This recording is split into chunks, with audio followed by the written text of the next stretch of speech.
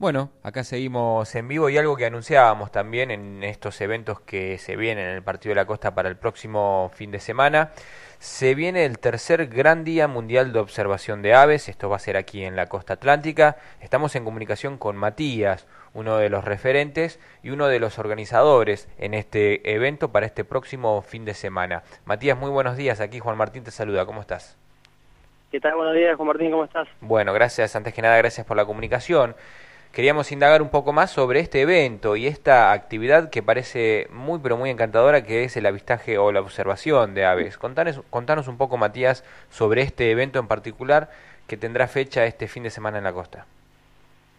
Bueno, más que nada va a ser una jornada importante a nivel mundial porque el 13 de mayo, el sábado, es el Día Mundial de Observación de Aves. Se van a estar haciendo eventos de observación en todas partes del mundo y bueno, nosotros desde el COA Punta Raza, ubicado en San Clemente, queríamos participar y, traer esa, esa, esa participación también a la comunidad. Así que nada, vamos a estar haciendo una juntada en el puerto de San Clemente a la mañana, a las 7 de la mañana, que por lo general para lo que es la observación de aves si bien se puede hacer durante todo el día, esa, esa obra en particular es bastante productiva porque es cuando comienzan la actividad varias aves playeras. Y ahí en el puerto justamente es, eh, es, una buena ubicación para hacer eso. Nosotros lo que vamos a hacer es simplemente juntarnos con la comunidad, todos aquellos que quieran participar, obviamente que están bien más que invitados. Eh, vamos a hacer una jornada de observación, vamos a hacer identificación de aves, vamos a acercarle a la comunidad, a la gente que esté interesada, también la información necesaria para que que participen, ¿sí? y de una manera u otra vamos a contribuir también a esa, ese evento mundial de observación de aves. Bien. Eh, ¿Quiénes están en la organización de este evento? Mira, la organización en sí, eh, acá en Argentina, está como liderada por la, por la organización eh, Aves Argentinas, que es una ONG que ya tiene más de 100 años trabajando acá en Argentina. a nivel mundial, son varias las entidades que están participando y que son las que que comenzaron con esto, pero básicamente Cornell Lab, que es una organización ornitológica mundial, es la que dio el puntapié inicial. Acá en Argentina, eh, en base a Aves Argentinas, que es la organización madre, somos varios COAS, que son las siglas de Club de Observadores de Aves, que estamos eh, bajo un convenio junto con Aves Argentinas, ellos nos dan el marco legal y nosotros somos como pequeñas entidades, como si fuéramos pequeñas sedes de aves argentinas en todas partes de la Argentina. Son más de 50 COAs que están funcionando en diferentes provincias. Acá en Buenos Aires y más que nada en la costa atlántica estaba funcionando el COA de Tuyú hace no muchos años atrás, que ahora quedó disfuncional. Y, justamente en diciembre del año pasado eh, iniciamos con el COA Punta Raza, que, somos cinco participantes hoy en día los que estamos eh, formándolo. Y bueno, por eso queremos abrirlo a la comunidad local para que se sumen también. ¿Hay alguna particularidad en, la región, en Punta Rasa, en San Clemente, en la costa atlántica, para la observación de aves? ¿Hay algún, eh, digamos, alguna característica que la diferencia de otros lugares? Sí, básicamente es, muy buena la pregunta. Punta Rasa es un lugar estratégico a nivel mundial. Si bien para toda la gente que conoce Punta Rasa como un lugar turístico, un lugar de paseo, eh, quizás no, no lo parezca, pero a nivel biológico la zona de Punta Rasa, específicamente la reserva, es un lugar eh, estratégico para las aves mundialmente. Eh, hay muchas aves que vienen a esta zona de manera migratoria, ¿sí? que por ahí pasan el resto del año en otras partes eh, del mundo, básicamente, y vienen para estos lados en verano, en primavera, y pasan toda esa temporada en la que nosotros estamos paseando, ellos la pasan acá, la mayoría nidificando, otros tanto alimentándose, recargando pilas para después seguir un viaje que la mayoría de las veces eh, van a estar prácticamente del otro lado del mundo. La zona de Punta Raza es muy importante a nivel biológico por eso. Muchas aves migratorias van a parar ahí, más que nada en la época de nuestro verano acá. Eh, hay un caso particular, el tallero rojizo, que es un ave emblemática porque se la pasa la mayor parte del tiempo del año en Canadá y Estados Unidos, y en nuestro verano se vienen volando en grandes bandadas numerosas, miles, miles y miles, vienen para estas costas y van a parar específicamente en Punta Raza. No, no llegan hasta mucho más que Punta Raza, salvo una pequeña población que va hasta, hasta Bahía Blanca, pero el resto eh, básicamente se, se, instalan ahí.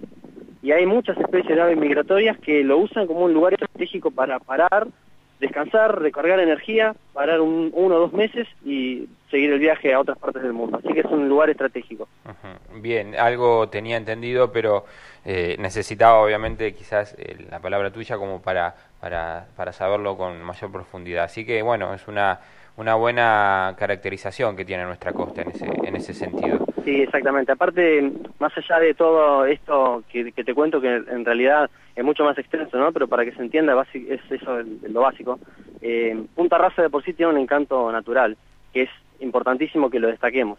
Es una reserva muy importante en la zona, creo en el Partido de la Costa, es la única reserva que, con la que contamos con estas características y está muy bueno que la gente también se acerque a verlo con otros ojos. Nosotros siempre decimos que la observación de aves es apenas la puerta ¿sí? para entrar a un mundo totalmente diferente en el que uno se mete en la naturaleza y lo vive de otra manera. Así que es un buen puntapié y además para compartir, para tomar unos mates, para conocernos entre todos. Es un lindo evento que esperemos que todos estén presentes. Totalmente de acuerdo, Matías, porque uno evidentemente cuida lo que conoce y si conocemos eh, esta, esto que nos decís y lo, que se puede observar y, en este tercer gran día mundial de observación, la verdad que esto ayuda a conservar mucho más el, patrimonio en este, en este sentido. Una última, Matías, ¿realizan algunas otras actividades o esto es meramente circunstancial? No, en realidad nosotros, como te dije, comenzamos hace muy poquito, en diciembre del año pasado, esta temporada, cada uno por cuestiones de trabajo y demás, estuvimos medio alejados y recién ahora podemos comenzar a armar, en base al marco este mundial, ¿no?, de este día, la primera actividad abierta al público en general. En diciembre hicimos una actividad en La Valle con los chicos de la escuela junto con el Parque Nacional Campos del Tuyú, el cual no tuvimos mucha difusión porque surgió muy rápido, pero la idea es ir armando diferentes actividades eh, durante el año en la mayoría de ellas van a ser abiertas al público en general para que todos puedan participar y todos puedan disfrutar de lo mismo. Y obviamente que para que puedan ir siguiendo todas estas actividades y novedades y demás, pueden visitarnos en nuestra página de Facebook, tanto como en la página web también. Si querés te lo paso para que la conozcan, www.coa.raza.com o si no, nos buscan en Facebook como coa.raza y ahí van a poder estar al tanto de todas las novedades. Siempre vamos a estar haciendo alguna que otra actividad en esta zona, en el partido de la costa, si podemos ir ampliándonos todavía mejor. Bien, bueno, antes que nada y antes de, terminar esta, esta breve nota, Matías, eh, agradecerle a, mm, a, Florencia que nos, nos alcanzó no solamente tu contacto, sino también todo lo referenciado a este, a este evento. Así que para, sí, eh, para recapitular, Matías, eh, en la información. Tercer gran día mundial de observación de aves. Se realiza en muchos lugares del mundo y particularmente aquí en la costa, en el puerto de San Clemente. Esto va a ser el próximo sábado 13. Sábado 13 a las 7 de la mañana, de 7 a 9, tampoco requiere mucho tiempo. Con un poquito más de tiempo también estamos bien. 7 de la mañana vamos a estar en el puerto de San Clemente entonces el sábado 13 para compartir con todos ustedes, los que quieran participar. Invitados también están ustedes a conocer un poquito más del mundo de las aves. ¿De carácter libre y gratuito, me imagino? Absolutamente, pueden traer mate para compartir, que es lo único que nos interesa. Bien. Y nosotros vamos a proveerle algunos binoculares, guías también para que ustedes conozcan y conozcan un poquito más sobre, sobre el mundo de las aves, que es algo que nos apasiona. Bien. Matías, te agradecemos y cuando gusten la radio a disposición de lo que necesiten comunicar. Muchísimas gracias, ¿eh? muchísimas gracias a todos ustedes, a la audiencia, a la gente de la radio y obviamente los invitamos a todos de que participen y que nos sigan en la página de Facebook. Un abrazo, ¿eh? hasta luego. Muchísimas gracias, chao.